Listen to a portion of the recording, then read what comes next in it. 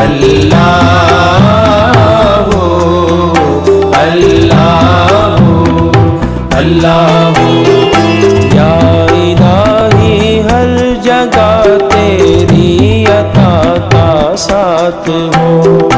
یا الہی ہر جگہ تیری عطا کا ساتھ ہو۔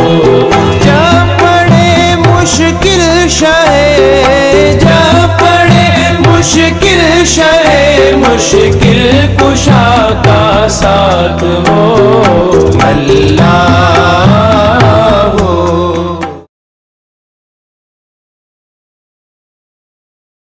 نحمده ونصلي ونسلم على سيدنا ومولانا محمد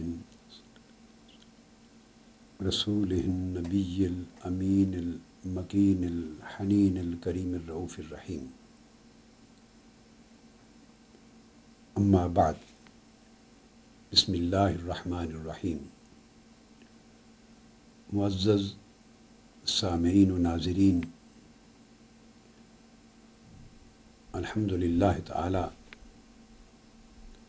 ہم اللہ جل مجدہ کی توفیق سے تصوف اور تعلیمات صوفیہ کے سلسلہ وار موضوع پر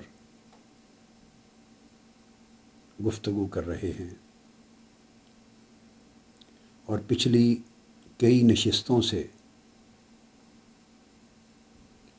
ہمارا موضوع سخن ہے تصوف کی حقیقت و ماہیت۔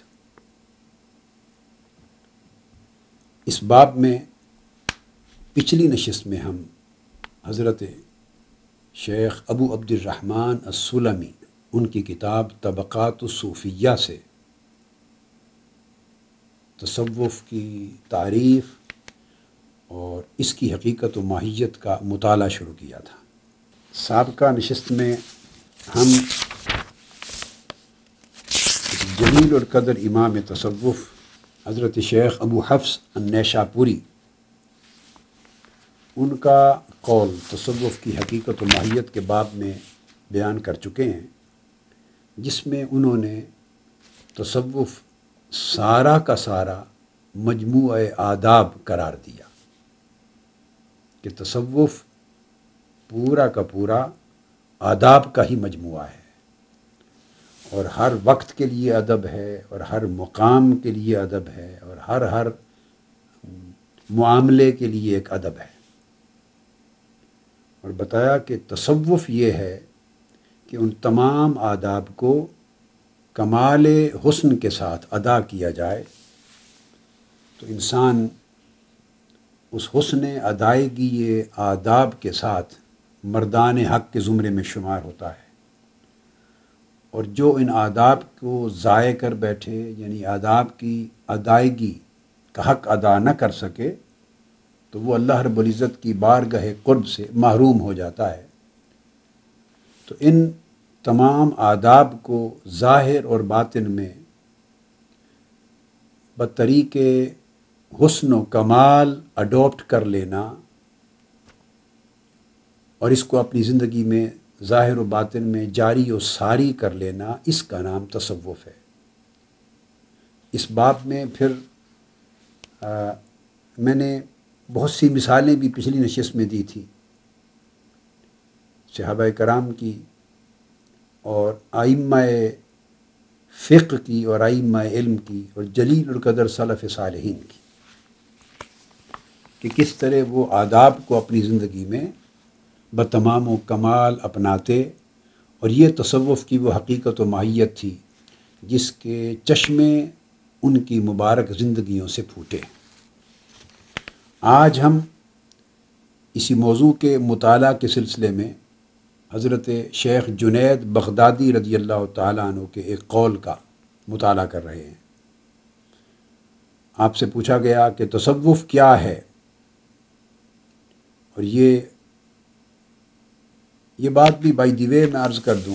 اب چونکہ طبقات سلمی اس وقت میرے سامنے ہے میں اس کتاب کا علمی مقام اور حضرت شیخ ابو عبد الرحمن سلمی جو اس کے مصنف ہیں، ان کا علمی مقام بھی تفصیل کے ساتھ پہلے بیان کر چکا ہوں کہ ان کا حدیث میں مقام کیا تھا، علوم قرآن میں مقام کیا تھا، فقہ اور عقیدہ میں مقام کیا تھا، اور کتنے جلیل القدر ائمہ حدیث ان کے شاگرد ہیں اور ان کے زوملا ہیں اور کتنے جلیل القدر ائمہ حدیث سے براہ راست ان کو تلمز ہے۔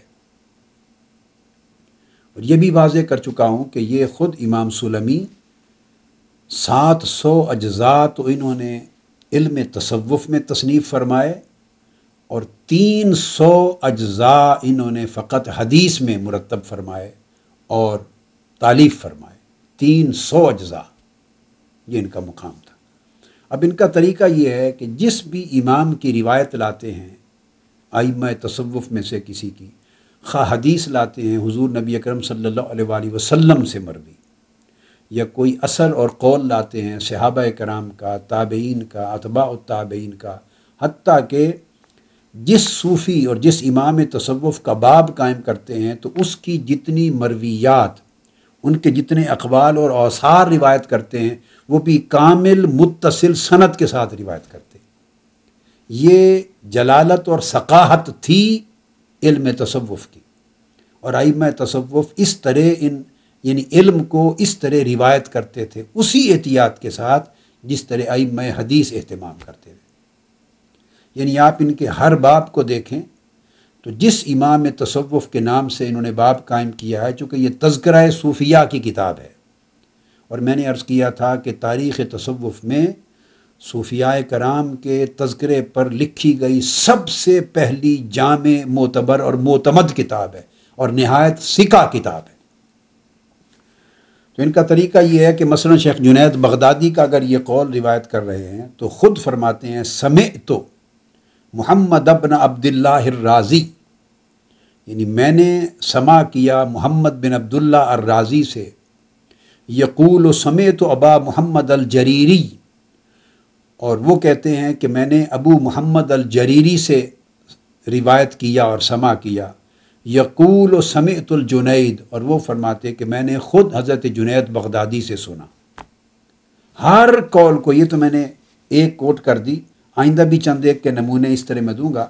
اکثر و بیشتر اقوال کو وہ اس طرح کامل صنعت کے ساتھ روایت کرتے تو اس سے یہ پتہ چلتا ہے کہ تصوف پورے اسناد کے ساتھ روایت ہوتا رہا ہے، دیگر علوم دین کی طرح۔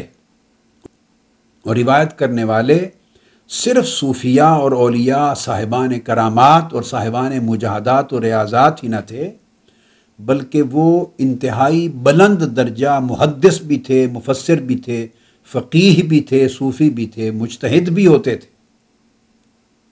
اور ان کا بڑا بلند مقام عقیدہ اور حدیث اور علم کے باب میں، شریعت کے علم میں ہوتا تھا۔ اب وہ فرماتے ہیں کہ حضرت شیخ جنید بغدادی نے فرمایا، التصوف ہوا صفا المعاملت مع اللہ تعالی۔ تصوف صرف اس چیز کا نام ہے کہ بندہ اپنا ہر معاملہ اللہ تعالیٰ کے ساتھ ہر غرض دنیا دنیاوی سے پاک اور صاف کر لے۔ اگر بندے کا معاملہ اللہ رب العزت کے ساتھ خالص ہو جائے اور ہر غرض سے پاک و صاف ہو جائے، یہ وہ تصور ہے جس کو حدیث پاک میں فرمایا گیا ان نمل اعمال و بنیات وہاں تو سارے اعمال آ جاتے ہیں کہ تمام اعمال کی قبولیت کا دار و مدار نیتوں پر ہے۔ نیت کیا ہے؟ اگر نیت اللہ اور اس کے رسول کے لیے خالص ہے تو عمل مقبول ہوگا، نیکی بن جائے گا۔ اگر نیت اللہ اور اس کے رسول کی نہیں ہے، دنیا کی ہے اور مال و ذر کی ہے، تو وہ عمل عبادت نہیں بلکہ دنیا کا عمل کہلائے گا۔ تو یہاں فرماتے ہیں کہ کوئی معاملہ خواہ اس کا تعلق عبادات سے ہے، خواہ معاملات سے ہے، خواہ اس کا تعلق مالیات سے ہے، انفاق اور صدقات اور خیرات سے ہے، اس کا تعلق اخلاق اور آداب کے ساتھ ہے، اس کا تعلق ادائیگی حقوق کے ساتھ ہے۔ کوئی بھی معاملہ جب انسان کرے تو ایک تو وہ معاملہ للہ کرے، اللہ کے لیے کرے۔ عبادت سے لے کر راستے کی کسی اذیت کو، کسی پتھر کو مسافروں کی حفاظت کے لیے ہٹا دینے کے عمل تک، کسی سے میل ملاقات کے وقت چہرے پر مسکراہٹ لانے کے عمل تک، کسی غریب کی مدد کرنے کے عمل تک، عبادات سے لے کر معاملات تک کوئی بھی عمل انسان کرے تو خالصتاً لوجہ اللہ کرے۔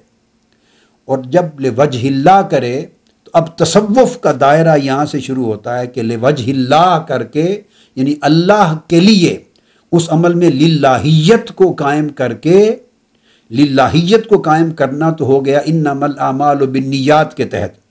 اور اس سے آگے تصوف جو درجہ احسان کی چیز ہے، وہ یہ ہے کہ پھر اس عمل کو جب اللہ کے لیے کرے، تو چونکہ وہ عمل اور عبادت اللہ کے لیے ہو گئی، اب اس اللہ کے لیے کیے جانے والے عمل میں کوئی اور دنیاوی غرض بھی شامل نہ ہو سوائے اللہ کی رضا کے۔ اگر اللہ کی رضا کے لیے خالصتاً کیا اور اس کو ہر غرض دنیاوی سے اپنے معاملے کو کلیتاً پاک اور صاف کر لیا، تو فرماتے ہیں اس کیفیت اخلاص کا نام تصوف ہے۔ وہ و ان دنیا پھر فرماتے ہیں کہ اس، یہ تصوف ہے اور اس کی اصل دنیا سے تعزف ہے۔ اب یعنی التصوف ہو تعزف گویا تصوف دنیا سے تعزف ہے۔ اور دنیا سے تعزف کا معنی کیا ہے؟ یعنی دنیا سے دل کا کٹ جانا۔ دنیا کی رغبت، دنیا کا حرص، دنیا کا لالچ، دنیا کی طلب، دنیا کی چاہت۔ اور دنیا کو مطلوب و مقصود سمجھنے کی جو نیت ہے، اس کا دل سے نکل جانا۔ دل کا دنیاوی اغراض و نیات سے پاک اور صاف ہو جانا۔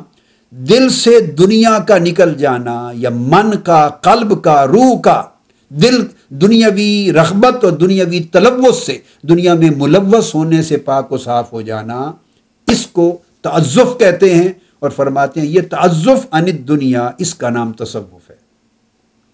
پھر حضرت شیخ جنید بغدادی رضی اللہ تعالیٰ انہوں نے یہاں پر تصوف کے معنی کے لیے حضرت حارثہ کی حدیث کوٹ کی ہے۔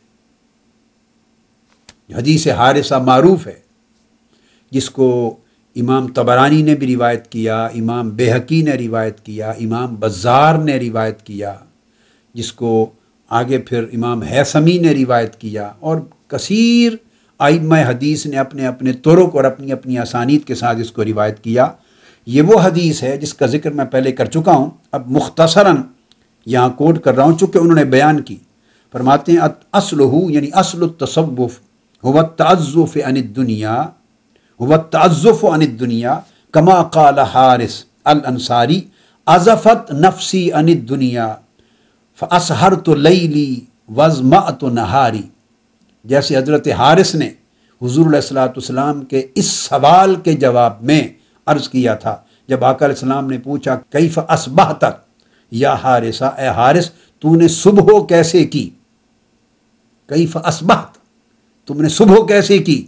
انہوں نے جواب میں کہا اسبہ تو مؤمنن حقن یا رسول اللہ، میں نے صبح حقیقت ایمان کے ساتھ کی۔ حقیقی معنی میں مومن ہوتے ہوئے یعنی ایمان کی حقیقت کو پاتے ہوئے میں نے صبح کی۔ گویا رات میری اس حال میں گزری کہ جب صبح ہوا تو میں حقیقت ایمان کو پا چکا۔ تو آقا علیہ السلام نے فرمایا فنزر ماضا تقول؟ اے حارثہ، سوچ، دیکھ تو کیا کہہ رہا ہے؟ ان لکل شعی ان حقیقت فما حقیقت و ایمانک۔ بتا، ہر شے کی ایک حقیقت ہوتی ہے۔ تیرے ایمان کی حقیقت کیا ہے؟ تو جو کہہ رہا ہے کہ میں نے حقیقت ایمان کے حال میں صبح کی۔ تو تیرے ایمان کی حقیقت کیا ہے؟ اس کے جواب میں انہوں نے پیرس کیا، یا رسول اللہ، میرے ایمان کی حقیقت یہ ہے کہ ازفت نفسی عن دنیا فاس ہر تو لئی لی و ازما تو نہاری کہ میں نے اپنی جان کو، اپنے قلب کو دنیا سے کاٹ کر جدا کر لیا ہے۔ یعنی دنیا کو اپنی جان سے، اپنے قلب سے نکال دیا ہے۔ دل کو دنیا کے اندر ملوث ہونے سے کلیتاً پاک اور صاف کر لیا ہے۔ اور نتیجتاً پھر رات جو ہے، وہ پھر میں ساری رات بیدار رہتا ہوں۔ اللہ کے حضور عبادات اور اس کی طاعت اور اس کی مناجات میں بیداری میں گزارتا ہوں۔ اور دن پیاس میں گزارتا ہوں۔ یعنی وہ رات کی بیداری میں جو شراب قرب الہی نصیب ہوتی ہے، جو شراب محبت الہی نصیب ہوتی ہے، جو لذت مناجات کی جو شراب ملتی ہے، جو لذت طاعت و عبادت کی جو شراب ملتی ہے، اور اللہ کے پکارتے ہوئے، اس کی راہ بارگاہ میں سجدہ کرتے ہوئے، اس کی مناجات کرتے ہوئے، اس کے حضور دعا اور التجا کرتے ہوئے جو لذت آتی ہے، جو حلاوت آتی ہے، جو کیف و سرور ملتا ہے، ایک شراب کی مانند، اس سے جو سکون اور روحانی نشہ نصیب ہوتا ہے، ایک من پر، اس اس شراب کی لذت و حلاوت کے لیے پورا دن انتظار میں پیاسا گزارتا ہوں کہ رات آئے اور میں پھر دنیا سو جائے اور تنہائی اور رات کی اندھیرے میں پھر اللہ کے حضور میں خلوت نشین ہو جاؤں اور اس خلوت نشینی میں دل کٹ کے دنیا سے پھر مولا کے ساتھ جڑ جائے اور اس تعلق اور وصال اللہ کی کیفیت میں رب کو پکاروں اور مناجات کی لذت سے پھر وہ سکون کی ایک کا چشمہ نصیب ہو جو مجھے سیراب کر دے میرے من کو۔ اس سیرابی کے لیے بےتابی میں گزرتا ہے سارا دن۔ اس رات کی معرفت کی قربت کی شراب کے لیے دن بھر پیاس میں گزرتا ہے۔ فرمایا، تو یہ جو کیفیت ہے جس میں انہوں نے بیان کیا اور پھر فرمایا کہ اس کی وجہ سے میرا حال یہ ہو گیا ہے کہ انی انظر و الا عرش ربی بارزا، کہ اب پردے گویا اٹھ گئے ہیں اور میں عرش الہی کو بھی بے نقاب اپنی آنکھوں کے سامنے دیکھتا ہوں۔ یہ حضرت جنید بغدادی رضی اللہ تعالیٰ عنہ نے یہ حدیث کوٹ کی اور فرمایا کہ اصل تصوف کی حضرت حارثہ کی یہ حدیث ہے، جس پر حضور علیہ السلاۃ والسلام نے پورا جواب سن کر پھر فرمایا تھا کہ عرفتہ، تو عارف ہو گیا یعنی تو حقیقت ایمان کو صحیح معنی میں اس کی معرفت تمہیں مل گئی، حقیقت ایمان کی معرفت تمہیں مل گئی، عرفتہ۔ تو جان گیا حقیقت ایمان کو۔ فلزم قال سلاسن تین مرتبہ کا نے فرمایا، اس حالت کو مضبوطی سے تھامے رکھنا تھامے رکھنا تھامے رکھنا۔ اور دوسری روایت میں آقا علیہ السلام نے جو انس ابن مالک رضی اللہ تعالیٰ عنہ سے مروی ہے، اس میں حضور علیہ السلام نے فرمایا، عبدن نور اللہ قلبہ۔ لوگوں دیکھو، یہ وہ بندہ ہے جو وہ جوان ہے جس کے دل کو اللہ نے اپنے نور سے روشن کر دیا ہے۔ تو فرماتے ہیں، یہ ہے اصل تصوف اور حقیقت تصوف۔ اب حضرت جنید بغدادی رضی اللہ تعالیٰ عنہ کے بعد امام سلمی نے آگے قول بیان کیا ہے آگے حضرت شیخ ابو الحسین النوری کا۔ ابو الحسین النوری جلیل القدر آئمہ تصوف میں سے ہیں اور احمد بن محمد، ان کا نام ہے ابو الحسین النوری البغدادی۔ اب وہ بیان کرتے ہیں، ان سے پوچھا گیا کہ تصوف کیا ہے۔ تو وہ فرماتی ہیں تصوف و تر کو کل حزن لنفس ہاں تو یہ بات بھی ذہن نشین رہے کہ یہ بھی جلیل القدر ان آئمہ میں سے ہیں جو تصوف کے مؤسسین، تصوف کے بانیان میں سے ہیں۔ ان کو مشائق القوم کہتے ہیں کہ جو قوم کے شیوخ ہیں آئمہ ہیں، اس طبقہ کے آئمت و طائفہ ہیں۔ فرماتے ہیں کہ تصوف نفس نفس امارہ، مراد اس میں نفس امارہ ہے۔ اس کی جو چاہت ہے اور جس چاہت کے ذریعے وہ راہ حق سے بہکتا پھسلتا ہے، گمراہ ہوتا ہے۔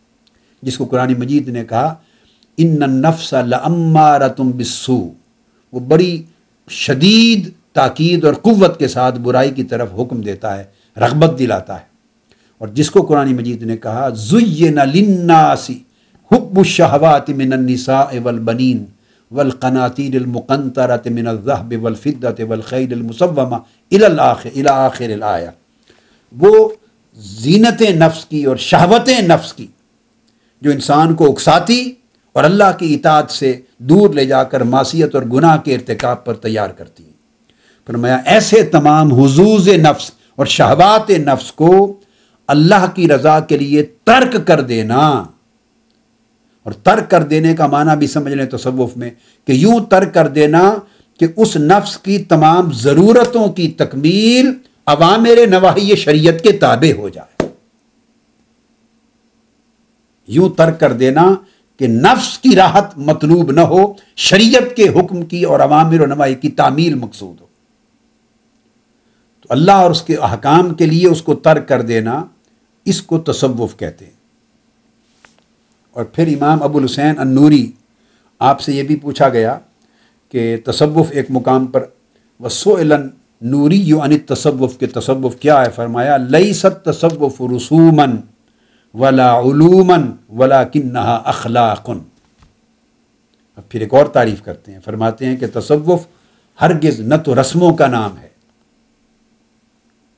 نہ علوم کا نام ہے، بلکہ تصوف سارا کا سارا سنت نبوی اور شریعت محمدی صلی اللہ علیہ وسلم کی مطابقت میں اخلاق اور حسن سیرت کا نام ہے۔ سارا کا سارا اخلاق ہے۔ اور اخلاق سے مراد اخلاق محمدی صلی اللہ علیہ وسلم۔ اخلاق حسنہ مکار میں اخلاق، محاسن اخلاق، انہیں ظاہر و باطن میں اپنے کمال پر پہنچا دینا اس کا نام تصوف ہے۔ اب اشارہ اس عمر کی طرف کیا ہے کہ اگر کوئی شخص صاحب علم ہے، مگر خلو کے حسن سے معروم ہے، اس کے ظاہر اور باطن میں اخلاق حسنا کا نور نہیں ہے اخلاق کے محمدی صلی اللہ علیہ وسلم میں اس کی سیرت فنا نہیں ہے، مزین نہیں ہے، ظاہر و باطن میں علوم اس کے پاس ہیں۔ پر میں اب اس کو آپ عالم کہیے، جو چاہیں کہیے، وہ صوفی نہیں ہے۔ اس لیے کہ محض کتابی علم سے باتیں کرنے کا نام تصوف نہیں ہے۔ وہ معلومات ہیں، جبکہ تصوف معلومات نہیں، تصوف سارا کا سارا اخلاق ہے۔ اور پھر فرماتے ہیں، اس طرح رسوم ہے۔ تصوف رسم کا پابند نہیں۔ اب آج کل بدقسمتی یہ کہ تصوف کی حقیقت ختم ہو گئی۔ اللہ ماشاء اللہ تصوف کثرت کے ساتھ جہاں نظر آتا ہے، وہ رسوم نظر آتے ہیں، مراسم نظر آتے ہیں۔ اور لوگوں نے بھی کم علمی کی وجہ سے ان مراسم کو تصور سمجھ لیا۔ یعنی اگر تسبیح کسی کے ہاتھ میں ہے، وہ وظیفہ کر رہا ہے تو لوگ سمجھیں کہ یہ تصوف ہے۔ تسبیح کا نام تصوف نہیں ہے۔ نہ تصوف میں کہ لوازمات میں تسبیح شامل ہے۔ جبا کبا لباس، لوازمات تصوف کا حصہ نہیں ہے۔ خاص مسند بیٹھنا لوازمات تصوف سے نہیں ہے۔ خاص وضع قطع کا ہلکا اٹھنا بیٹھنا لوازمات تصوف میں سے نہیں ہے۔ خاص طریقے کی رسوم رسوم مزارات ہوں یا اپنے مراکز ہوں یا خانقاہیں ان پر ادا کرنا، رسوم کو، اس کا نام تصوف نہیں ہے۔ یہ کل کل مراسم ہے اب مراسم میں اگر کتاب و سنت اور صوفیاء کے طریق کی مطابقت میں ہوں گی اور ہیں تو وہ جائز بھی ہیں۔ یعنی رسوم ہونے کا مطلب یہ بھی نہیں ہے کہ وہ خلاف دین ہے، یہ بات ذہن نشین کر لیں۔ یعنی ہر طرف یا افراد ہو جاتا ہے ہر موضوع میں یا تفریح ہو جاتا ہے۔ ہماری بدقسمتی یہ ہے کہ ہم اعتدال میں بڑی مشکل سے رہتے ہیں۔ اکثر معاملات میں یا افراد کر بیٹھتے ہیں غلوف کر بیٹھتے ہیں۔ اور غلوف کا مطلب یہ ہے کہ مراسم کو تصوف قرار دے دیا اور اس کی حقیقی روح مفقود ہو گئی، ختم ہو گئی۔ پھر اعتراضات آئے۔ تفرید کر بیٹھتے ہیں۔ دوسری سمت یہ کہ جب انکار کرنے پر آئے تو مراسم سے چڑے چڑ ہوئی مراسم سے۔ اختلاف اور اعتراض ہوا مراسم رسوم پر۔ اس کا انکار کیا اور اس کے نام پر پھر پورے تصوف اور اس کی حقیقت و روح کا بھی انکار کر دیا۔ تو یہ تفریح ہو گئی۔ تو ادھر تفریح میں بھی غلوب ہو گیا، افراد میں بھی غلوب ہو گیا۔ اب بتانا یہ چاہتا ہوں کہ ایک تو بات ذہن میں رکھیں کہ تصوف رسوم کا نام نہیں ہے جو آئی تصوف اور آئی ولایت نے کہا۔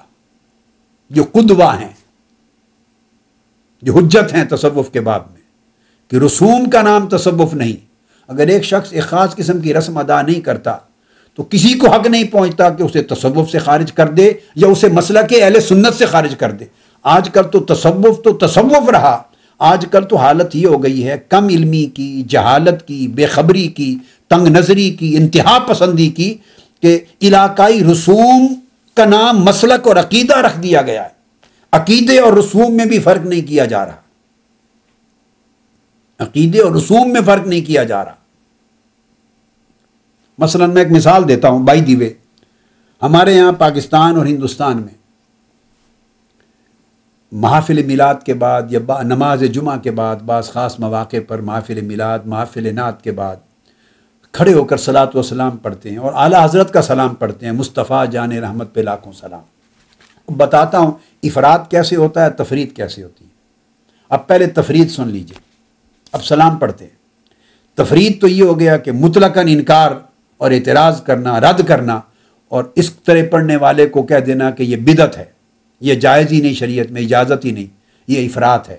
یہ بھی غلوف ہے انکار میں اور یہ ناجائز ہے۔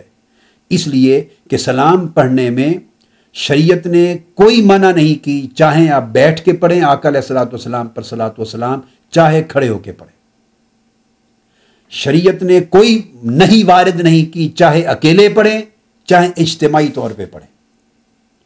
شریعت محمدی میں، قرآن و سنت میں کوئی نہیں اور منع، وارد نہیں ہوئی۔ کہ بلند آواز سے نہ پڑھیں۔ آپ کی ثوابدید پر ہے، چاہے آہستہ پڑھیں دل میں، چاہے بلند آواز سے پڑھیں۔ یہ اللہ کے ازگار کی طرح ذکر ہے۔ تو ذکر جہرن بھی ہوتا ہے، ذکر سرن بھی ہوتا ہے۔ اللہ کے اذکار کی طرح ذکر کھڑے ہو کر بھی ہوتا ہے، ذکر بیٹھ کر بھی ہوتا ہے۔ جیسے قرآن مجید نے کہا اللہ دین ید قرون اللہ قیام و قعودم و جنوب اور اجتماعیت ہے وہ لوگ جو کھڑے ہو کر بھی اللہ کا ذکر کرتے ہیں، بیٹھ کر بھی کرتے ہیں۔ تو جب اللہ تعالیٰ کا ذکر کھڑے ہو کے بھی کرنا جائز ہوا، بیٹھ کے بھی کرنا جائز ہوا، تو حضور السلام پر درود و سلام پڑھنا یہ بھی ایک معنی میں اللہ ہی کا ذکر ہے۔ تو خواہ کھڑے ہو کے پڑھیں، خواہ بیٹھ کر پڑھیں، قرآن و سنت کی روح سے، ایک تو یہ کہ اس پر منع کوئی نہ تھی اور دوسرا یذکرون اللہ قیام و قعودن سے یہ فرا نکلی کہ کھڑے ہو کر پڑھنا بھی جائز ہے، بیٹھ کر پڑھنا بھی جائز۔ کسی ایک حالت پر آپ مقید نہیں کر سکتے۔ اونچی آواز سے بھی کر سکتے ہیں، جیسے تلاوت قرآن مجید ہے۔ باواز بلند محافل قرات قائم ہوتی ہیں باواز بلند بھی کر سکتے ہیں اور دل میں اکیلے تنہا بیٹھ کے تلاوت تنہا بھی کر سکتے ہیں۔ اسی طرح حضور علیہ السلام کے لیے نعت ہے، اونچی آواز سے بھی پڑھ سکتے ہیں، آہستہ بھی پڑھ سکتے ہیں۔ سو اسی طرح درود و سلام ہے۔ تو جس امر پر کتاب و سنت میں نہیں اور منع نہ ہو، اصلا وہ مطلق ہوتا ہے، آپ جس طرح چاہیں کریں۔ تو اب اس کے رد کرنے پر غلوف کیا جن احباب نے، تو اس کو کلیتاً بدت اور ناجائز اور حرام اور خدا جانے کیا کیا کہہ دیا؟ یہ ایک انتہا ہوئی۔ اب افراد کا گوشہ بتاتا ہوں۔ سلام پڑھنے والے، میں سلام پڑھتا ہوں۔ محفل میلاد کے اختتام پر ہمیشہ میرا معمول ہے اور منہاج القرآن کی پوری دنیا کے مراکز پہ معمول ہے کہ ہم آقا علیہ السلام کی بارگاہ میں کھڑے ہو کے سلام پڑھتے ہیں۔ عالم عرب میں بھی پڑھا جاتا ہے، مکہ مزمہ میں پڑھا جاتا ہے۔ آج بھی مدینہ طیبہ میں وہاں کے پاکستانیوں، ہندوستانیوں کی بات نہیں کر رہا، اہل مکہ، اہل مدینہ، عرب لوگوں کی جو نسل مکی اور مدنی ہے وہاں آج بھی محفل ہوتی ہیں اور کھڑے ہو کے محفل کے دوران مولود شریف پڑھتے اور کھڑے ہو کے سلاۃ و سلام پڑھتے ہیں۔ شام میں پڑھتے ہیں، مصر میں پڑھتے ہیں، اردن میں پڑھتے ہیں ٹرکی میں پڑھتے ہیں، سیریا میں، یمن میں پڑھتے ہیں۔ میں یعنی الجزائر میں دنیا کے تمام عرب و عجم کے ممالک میں پڑھا جاتا ہے۔ یہ صرف پاکستان، انڈیا کی بات نہیں۔ اور میں پوری دنیا عرب کے ایک ایک ملک میں ایسی محفل میں شریک ہوا ہوں۔ عرب کی، جن کے اوپر کوئی ہندوستان کے اثرات نہیں ہیں۔ یہ ایک اینگل ہے۔ اب اس میں افراد کیا ہے؟ یہ باتیں تو میں نے ان احباب کے لیے کہیں جو تفرید کر کے اس پر اعتراض کرتے رد و انکار کر کے بالکل کلیتاً اس کو خلاف شریعت قرار دے دیتے ہیں یا بدت قرار دے دیتے ہیں، یہ بدت نہیں۔ چونکہ اس میں کوئی امر خلاف شریعت نہیں ہے۔ اور اگر کوئی کہے کہ یہ سلام اردو میں کیوں پڑھتے ہیں، تو جس طرح ہم نعتیں پڑھتے ہیں بھائی اردو میں۔ تمام لوگ اللہ کی حمد، بعض جلسوں میں کچھ لوگ حمد پڑھتے ہیں، کچھ لوگ نعت خان ہیں، حضور کی نعت پڑھتے ہیں۔ جس طرح خطاب کرتے ہیں، جمعہ کے دن آپ، آقا علیہ السلام نے، صحابہ کرام نے اردو میں تو کبھی خطاب جمعہ نہیں کیا تھا۔ تو اب ہر مسجد میں، پاکستان، انڈیا میں جن کی زبان عربی نہیں ہے، اردو میں خطاب ہوتا ہے ممبر رسول پر۔ اسی وجہ سے خطاب کے بعد دوسری اذان کہہ کر پھر نئے سرے سے مختصر طریقے سے عربی کا خطبہ مسنونہ پڑھا جاتا ہے۔ الگ پڑھتے ہیں، چونکہ عربی میں وہ خطاب نہیں ہوتا، اردو میں کرتے ہیں، تو خطبہ مسنونہ کے لیے الگ جگہ وقت نکالا جاتا۔ ہے جبکہ عالم عرب میں الگ خطبہ مسنونہ نہیں پڑھتے وہی خطاب ہوتا ہے جو ہم یہاں اردو میں کرتے ہیں، وہ عربی میں کرتے ہیں دو حصوں میں، اسی خطاب کو ہی خطبہ جمعہ کہتے ہیں۔ تو یہ الگ الگ طریقے۔ اب افراد ہوتا ہے، ایک مثال دے رہا ہوں اس میں افراد کس طرح ہوتا ہے؟ افراد یہ ہے کہ کھڑے ہو کے جس نے سلام اعلیٰ حضرت کا ان کلمات مخصوصہ کے ساتھ پڑھا، بعض لوگ اپنی تنگ نظری اور کم علمی کے بائی یہ سمجھتے ہیں کہ اگر یہی پڑھا گیا تو سمجھیں آپ نے سلام پڑھا حضور علیہ السلام پر۔ اور جو اگر اس طرح معمول ان کا نہیں ہے، ویسے سلاۃ و سلام پڑھتے ہیں، قصیدہ بردہ شریف پڑھتے ہیں، یا بیٹھ کے معمول میں مجالس میں پڑھتے ہیں، کھڑے ہو کر بھی پڑھتے ہیں، مگر ہر جمعہ کے بعد التظام نہیں کرتے، ہر جلسے، ہر محفل کے بعد التظام نہیں کرتے، یہ انداز الگ ہے۔ یہ سمجھنا کہ جس نے اس طریقے سے، جو ہمارے یہاں پاکستان، انڈیا میں متداول ہے، اس طریقے سے سلام نہیں پڑھا، گویا وہ حضور پر درود و سلام کو مانتا ہی نہیں۔ اس کا قبول ہی نہیں ہوگا۔ یہ افراد کا جو تصور ہے، یہ پھر غلوب ہے اقرار میں۔ تو یہ غلوب ہے اقرار میں، وہ غلوب ہے انکار میں۔ یہ دونوں انتہا پسندانہ سوچیں۔ اس لیے کہ بھائی یہ طریقہ ایک خاص حیات کے ساتھ مل جل کے باواز بلند پڑھنا، اردو کے نعت کے طریق پہ صلاحت و سلام پڑھنا جائز ہے۔ سو فیصد جائز ہے، منع نہیں۔ مگر یہ رواج ہے، طریقہ ہے پاکستان اور انڈیا میں۔ جو وجہ وجود ہوا۔ جب دوسرے ملک میں چلے جاتے ہیں تو جیسے عادات بدلتی ہیں، رواج بدلتے ہیں کلچر بدلتا ہے، وہاں کی کسٹمز بدلتی ہیں، وہاں پڑھنے کے طریق اور ہیں۔ وہاں جلسوں میں محافل کے اختتام پہ نہیں پڑھا جاتا، وہاں محفل میلاد جب ہوتی ہے تو اس کے وسط میں پڑھتے ہیں۔ اور آخر پہ صرف دعا کے ساتھ اختتام کر دیتے ہیں۔ وہاں بھی کھڑے ہو کے پڑھتے ہیں۔ مکہ مزمہ میں، مدینہ طیبہ میں، شام میں، مصر میں، عرب میں، دنیا کے ہر عرب ملک میں فاس تک میں گیا ہوں، یمن تک ہر جگہ پڑھتے ہیں، اس میں شک نہیں ہے۔ مگر ان کا طریقہ جدا ہے۔ مل کے پڑھتے ہیں، کھڑے ہوتے ہیں، مگر وہ محفل کے دوران آقا علیہ السلاۃ والسلام کے ذکر میلاد اور ذکر ولادت کا آتا ہے تو اس کی تعظیم میں کھڑے ہو کے حضور پر صلاۃ وسلام پڑھتے ہیں۔ پھر بیٹھ جاتے ہیں، اس کے بعد پھر نعت خانی اور خطاب سب جاری رکھتے ہیں۔ اور جب اینڈ ہوتا ہے تو اس کے اوپر ختم شریف پڑھ دیتے ہیں یا دعا کر کے تو لنگر کھا لیتے ہیں۔ تو اختتام پر معمول نہیں ہے ایسا۔ اور الگ الگ مولود ہیں، میلاد لکھے ہوئے، یا اعلیٰ حضرت کا لکھا ہوا پڑھا جاتا ہے پاکستان اور انڈیا میں۔ مدینہ طیبہ میں، مکہ مزمہ عرب دنیا میں مولود برزنجی پڑھا جاتا ہے۔ اس طرح اور بڑے بڑے اکابر، اولیاء آئمہ و گزرے ہیں، ان کے الگ الگ لکھے ہوئے ہیں میلاد نامے عربوں میں، ان کے اپنے طریق کے مطابق یہ پڑھے جاتے ہیں۔ تو طریقے الگ ہیں۔ ہمارے ہاں جلوس ہوتا ہے، ان کے ہاں جلوس کا رواج نہیں ہے۔ تو سمجھنا، یہ رسوم ہے، مراسم ہے۔ تو مراسم جائز ہوتی ہیں۔ مگر لازم نہیں ہوتی کہ ان کو واجب تصور کر لیا جائے۔ کہ اگر ایک رسم میں انسان کی پرورش ہوئی ہے، اس کی سائیکالوجی بن گئی ہے، جس کو دیکھے گا کہ وہ اس رسم کو اڈاپٹ نہیں کرتے، وہ سہے گا یہ سننی نہیں ہے، اس کو اہل سنت سے خارج کر دے گا۔ یہ بھی افراد ہے۔ اور اس تنگ نظری نے مسئلہ کے اہل سنت کو بہت نقصان پہنچایا ہے۔ بہت نقصان پہنچایا ہے۔ بعض مراسم سے دوسرے ملکوں کے لوگ آگاہ نہیں ہیں۔ ان کے مراسم، طور، اتوار، طریقے، عادات کسٹمز یوزیجز ان کے اپنے ہیں۔ اس کی بیک گراؤنڈ میں ان کے پولیٹیکل سرکمسٹانسز ہوتے ہیں، ان کے سوشل سرکمسٹانسز ہوتے ہیں، ان کی اپنی کلچرل چیزیں ہوتی ہیں، وہاں جلسے جلوسوں کا سرے سے رواج ہی نہیں ہے۔ شہنشاہیت ہے، ملوکیت ہے، بادشاہت ہے، خاندانی، وہاں کھلے جلسوں، جلوسوں کی اجازت ہی نہیں۔ کسی موقع پر نہیں ہے، اس لیے وہ لوگ جلوس سے شناسا نہیں۔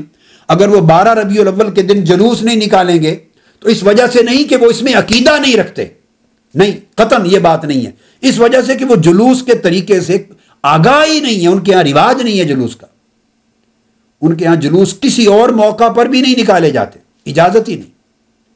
ہمارے یہاں چونکہ جلوس ہوتے ہیں، ہر ہر شخص کے استقبال کے بھی جلوس ہوتے ہیں، احتجاج کے بھی جلوس ہوتے ہیں، پتلے جلانے کے بھی جلوس ہوتے ہیں، خوشی پر بھی جلوس ہوتے ہیں، غصے اور احتجاج کے بھی جلوس ہوتے ہیں، فتح کے بھی جلوس ہوتے ہیں۔ ہمارے یہاں جلوس ہی جلوس ہوتے ہیں، کلچر کا حصہ ہے۔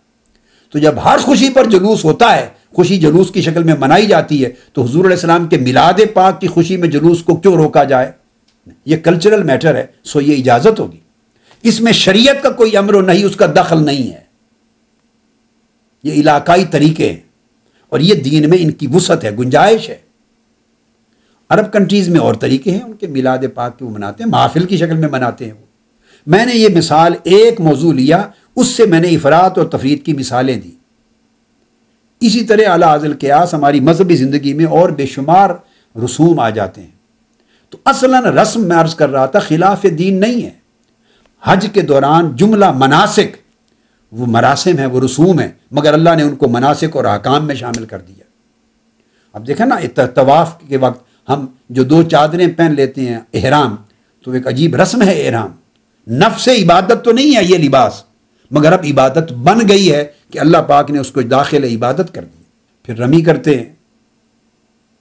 کنکریاں مارتے ہیں جب تین دن جا کے تو ایک رسم ہے۔ صفا مروا میں صحیح کرتے ہیں، ایک رسم ہے۔ حتیٰ کہ کعبۃ اللہ کا طواف کرتے ہیں سات چکر لگاتے ہیں، یہ ایک رسم ہے۔ یہ سب سنتیں ہیں۔ یہ سنتیں ہیں جن کو شاعر کہا گیا ہے۔ یہ طریقے ہیں۔ اڈاپٹ کیے گئے ہیں آقا علیہ السلام کی، تو سنت یہ بھی ایک طریقہ ہوتا ہے، یہ رسم دینی بن جاتی ہے۔ تو رسم کا دین کے اندر ایک بنیاد ہے، رسم دین میں شامل ہے۔ ڈپینڈ کرتا ہے کہ کون سی رسمیں وہ ہیں جو دین کا حصہ ہیں، کون سی وہ ہیں جو علاقائی ہیں۔ علاقائی رسمیں ہوں گی تو ان میں جائز اور ناجائز میں امتیاز کیا جائے گا۔ اور وہ مراسم اور رسوم جو عین دین کا حصہ ہوں گے، جو مناسب دین بن جائیں گے ان میں ناجائز کا تصور نہیں ہو سکتا۔ اس سے یہ پتا چلتا ہے کہ دین ٹوٹلی سیلیبریشنز کو اور رسوم کو اور یہ جو سیریمونیل ایسپیکٹس ہوتے ہیں، دین ان کا خلاف ان کے نہیں ہے۔ ان کا اسلام کے اندر مقام ہے۔ اب اس پر شیخ جنید بغداد اچھا، حضرت ابو الحسین نوری فرماتے ہیں کہ یاد رکھ لیں، جب آپ سمجھ گئے اصل حکام اور رسوم رسوم ان کی ادائیگی کے طریقہ کار ہیں۔ تو فرماتے ہیں کہ تصوف کی غرض رسوم سے نہیں ہے۔ تصوف رسوم کا نام نہیں، رسوم فقہ میں آ جائیں گی، شریعت کے دیگر احکام کے تابع آ جائیں گی، دین کے دیگر احکام کے کسی سبجیکٹ میں رسوم آ جائیں گی۔ مگر فرماتے ہیں، تصوف کا سبجیکٹ نہیں کہ رسوم کو ڈیل کرے۔ وہ جائز ہوں گی تو تصوف قبول کرے گا، ناجائز ہوں گی تو قبول نہیں کرے گا، جیسے شریعت کا حکم ہوگا ویسے کرے گا۔ مگر تصوف عین رسوم نہیں ہے، اسی طرح تصوف عین علوم نہیں ہے۔ حالانکہ تصوف میں علم ہے، تصوف خود بھی ایک علم ہے۔ اور تصوف میں قرآن کا علم ہے، حدیث کا علم ہے، فقہ کا علم ہے، شریعت کا علم ہے، اخلاق و آداب کا علم ہے، تو علوم تو ہیں۔ مگر اسی طرح جیسے رسوم بھی ہیں، تو کہنا مقصود یہ ہے کہ شریعت علم اپنی جگہ ایک علم ہے، مگر علم جس سورس سے آتا ہے، اسی سورس کا اگر قرآن سے آیا تو علم قرآنی ہے، حدیث سے آیا تو علم الحدیث ہے، فقہ سے آیا علم الفقہ ہے۔ تاریخ سے آیا علم التاریخ ہے، ادب سے آیا علم الادب ہے، لغت سے آیا تو علم اللغت ہے۔ یہ سارے علوم تصوف استعمال میں لاتا ہے بیان کرنے کے لیے۔ مگر وہ کہتے ہیں کہ نفس تصوف پوچھیں تو نہ وہ علم ہے، نہ رسم ہے۔ نفس تصوف اخلاق محمدی کا نام ہے، صلی اللہ علیہ وسلم۔ تو گویا دین کے جس طرح حصے ہیں، تو نفس تصوف سراپا اخلاق نبوی، مطابعت محمدی صلی اللہ علیہ وآلہ وسلم ہے، ظاہر اور باطن میں، اور حسن سیرت ہے، جس کو آقا علیہ السلام نے فرمایا وہ اس تو مکارم الاخلاق حالانکہ آقا علیہ السلام نے حلال اور حرام بھی دیا، آقا علیہ السلام نے اقامت دین کے حکم بھی دیے، آقا علیہ السلام نے امر اور نہیں کے احکام بھی دیے۔ آقا علیہ السلام السلام نے عقائد بھی دیے، توحید اور رسالت کے اور آخرت کے۔ ساری چیزیں دیں۔ سب کچھ دین میں ہے، سب کچھ قرآن میں ہے۔ مگر ساری چیزیں دے کر جہاں تکمیل کی بات کی تو فرمایا انما بوست اتم مکار مل اخلاق میری بیست پوچھتے ہو کیوں ہوئی؟ تو میں مکارے میں اخلاق کو یعنی مورل اور اسپریچول ویلیوز کو اپنے منتہا کمال پر پہنچانے کے لیے آیا ہوں کہ انسان ایک بہت بڑا عظیم moral actor ethical spiritual actor بن جائے۔ انسان ایک عظیم مرتبہ کمال پر فائز ہو جائے اور وہ مرتبہ کمال اخراق کے باب میں ہو۔ ان نقل خلق عظیم آقا علیہ السلاۃ والسلام کے اللہ پاک نے یہ ایک گوشہ سیرت تھا کہ جس کو اللہ پاک نے اپنی زبان مبارک سے اور زبان علویہ سے خلو کے عظیم کہا کہ بے شک آپ خلو کے عظیم پر فائز ہیں۔ اس سے اخلاق کی اہمیت کا اندازہ ہوتا ہے کہ آقا علیہ السلام کی خلو کی نسبت کو اللہ نے عظمت کے ساتھ تعبیر کیا کہ خلو کے عظیم پر فائز ہیں۔ تو وہ خلق جس کو اللہ نے عظیم کہا اور وہ اخلاق جس کے محاسن اور ویلیوز کی تکمیل کے لیے آقا علیہ السلام آئے تو امام ابو الحسین نوری فرماتے ہیں، وہ سراپا مجموعہ اخلاق ظاہر اور باطن میں اپنانا تو اس کا نام تصوف ہے۔ اسی طرح پھر آگے امام ساحل بن عبداللہ التستری، ان کا قول لاتے ہیں۔ حضرت صاحب بن عبداللہ التستری رحمۃ اللہ تعالی علیہ، یہ ان کا پورا نام ہے ساحل بن عبداللہ بن یونس۔ اور تستری ان کی صاحب زر نسبت ہے، ابو محمد ان کی کنیت ہے۔ تو یہ حضرت ضنون مصری رضی اللہ تعالیٰ عنہ کے اصحاب یعنی ان کے مصاحبین میں سے ان کی صحبت یافتہ اور فیض یافتہ لوگوں میں سے۔ تو وہ فرماتے ہیں، سہل بن عبداللہ تستری رحمۃ اللہ علیہ۔ فرم ان سے پوچھا گیا کہ صوفی کون ہے؟ آپ فرماتے ہیں کہ صوفی وہ ہے جس نے تین چیزوں کو اپنی زندگی میں لازم کر لیا گیا ہو اور یہ تصوف ہے۔ فرمایا صوفی وہ ہے جس کی زندگی تین چیزوں پر لازم ہو اور جس نے ان تین چیزوں کو اختیار کر لیا وہ صوفی ہے اور ان تین چیزوں کا مجموعہ اور لزوم یہ تصوف ہے۔ فرمایا، حفظ و سر رہی و ادا و فرد ہی و سیانت و فقر ہی جو راز ہے اس کے اور اللہ کے مابین اس کی حفاظت کرنا۔ اللہ رب العزت نے اس کو، اس کی جو نعمتیں عطا کی ہیں ساری۔ وہ اللہ رب العزت کی امانت بھی ہیں، اس کے راز بھی ہیں۔ ان کی حفاظت کرنا۔ اور اللہ رب العزت نے شریعت میں جو فرائض و واجبات اس پر لازم کیے ہیں، ان ساروں کو شاندار طریقے سے ادا کرنا۔ اور اپنی زندگی میں فخر، جس کو آکر السلام نے فرمایا، الفقر و فخری۔ فخر میرا فخر ہے۔ اس فخر کی حفاظت کرنا، اس کو محفوظ کرنا۔ فرمایا، اس کا نام تصوف ہے اور جو ان تین چیزوں میں کامیاب ہو جائے، وہ صوفی ہے۔ اور حفاظت کس طرح ہو؟ اب تینوں چیزوں کی۔ حضرت سہل بن عبداللہ فرماتے ہیں، وہ یوں کہ اللہ رب العزت کو اپنی نیت کا قبلہ بنا لے۔ اور نیت صحیحہ، دل کا قبلہ ہو جائے۔ اور قلب سلیم، بدن کا قبلہ ہو جائے۔ اور بدن جو متی اطاعت گزار بدن ہے، وہ تمام اعضاء کا قبلہ ہو جائے۔ اور اعضاء جو جوار اعمال صالحہ کا ارتکاب کرنے والے، وہ دنیا کا قبلہ بن جائے۔ اس طرح بندہ اپنے سر کی بھی حفاظت کرے گا، فرائض کی بھی ادائیگی کرے گا، اپنے فخر کی بھی حفاظت کرے گا۔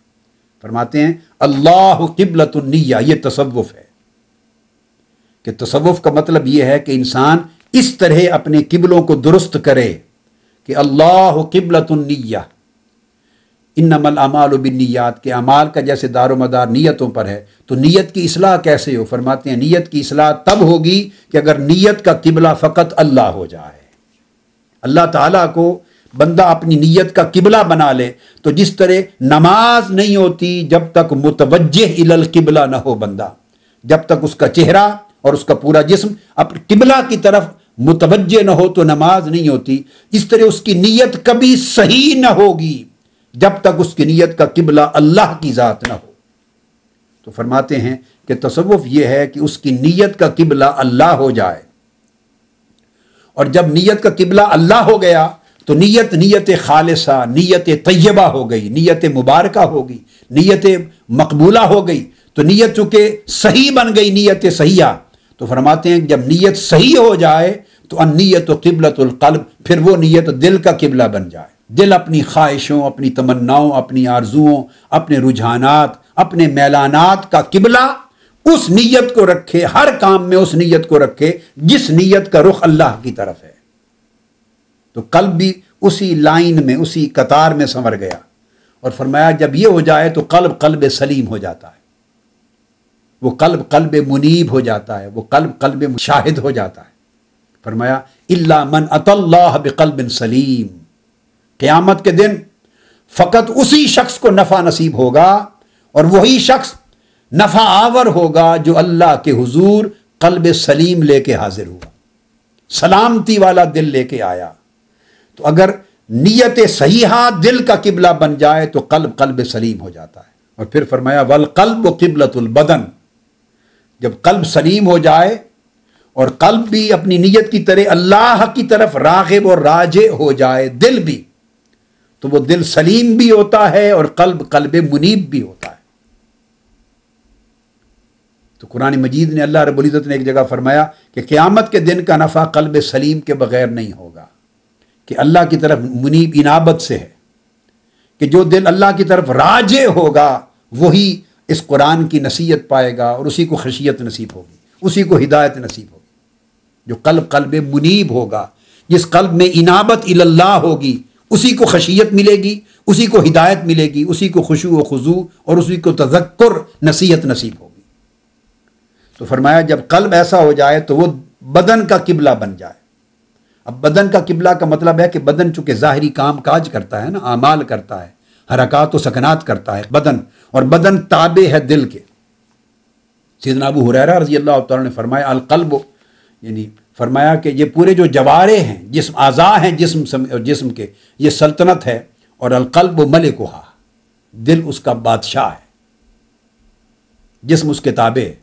تو چونکہ جسم اور اس کے آزاد دل کے تابع ہوتے ہیں، تو فرمایا والقلب و قبلت البدن، جب قلب قلب منیب ہو جائے، اللہ کی طرف راجے ہو جائے، قلب سلیم ہو جائے، تو وہ پورے بدن کا قبلہ بن جائے۔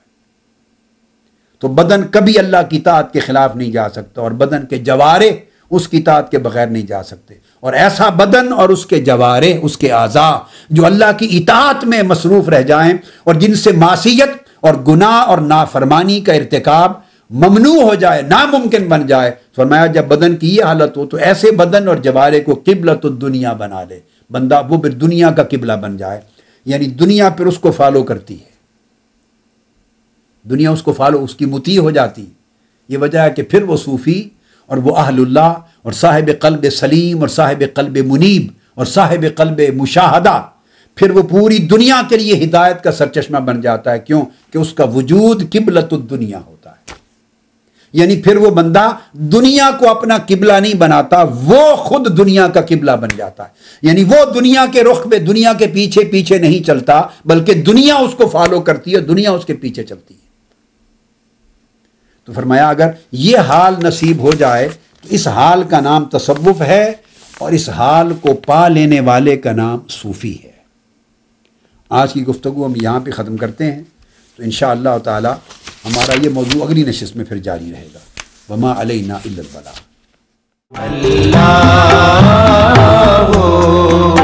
اللہ یا الہی ہر جگہ تیری عطا کا ساتھ ہو۔ یا الہی، ہر جگہ تیری عطا کا ساتھ ہو۔ جب پڑے مشکل شہ جب پڑے مشکل شہ مشکل کشا کا ساتھ ہو۔